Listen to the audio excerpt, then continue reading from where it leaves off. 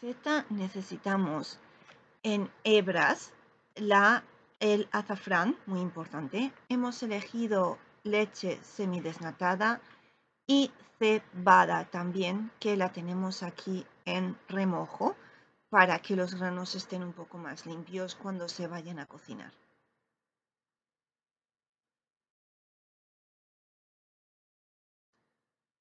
Primeramente se diluyen las hebras de azafrán con un poco de agua caliente.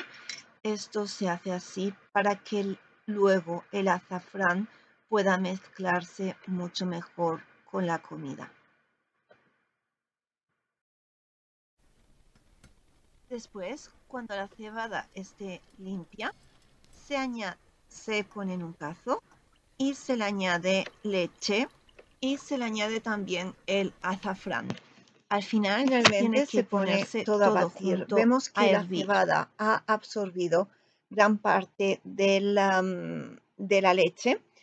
Eh, por ello era un, un, plato considerado muy nutritivo en el medioevo. Era, normalmente se tomaba con, o bien con pescado o bien como, como postre, por así decirlo, con algo de miel eh, durante los meses de invierno antes de la primavera, pues para dar energía al cuerpo. Gracias por ver este vídeo y hasta muy pronto. Adiós.